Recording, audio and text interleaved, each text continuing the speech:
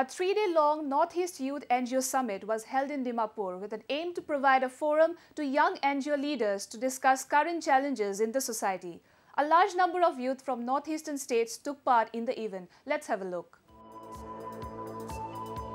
Under the theme of exchange, a three-day-long Northeast Youth NGO Summit was organized in Dimapur. More than 15 NGOs from Northeast states participated in the event. It was organized by Dimapur-based NGO Community Avenue Network, CAN, with an aim to provide a forum to young NGO leaders to discuss current challenges in the society.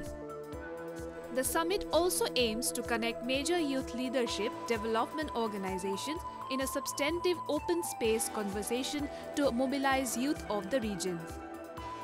We are just a budding organization, startup organization, so uh, it gives us a platform to share our uh, work, to share to share our passion, our dreams. I believe will help us a lot, and to, to establish network, we have to be in touch with one another, and this is the right platform.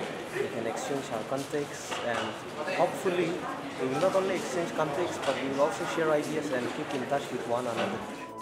Various organizations like CAN Youth Community Avenue Network, Full Life Access Trust took part in the summit.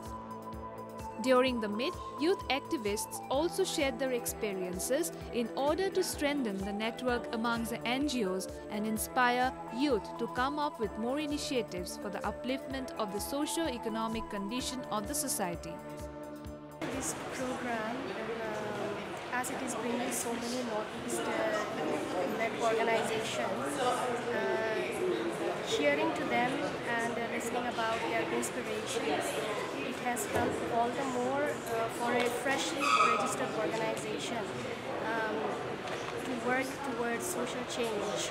I think this is a platform, a, a, a, first platform where only the youths are meeting and I think we need to do more on this and I think the network will be bigger, we can work more and we can do uh, networking more and each other, help each other and like exchange for.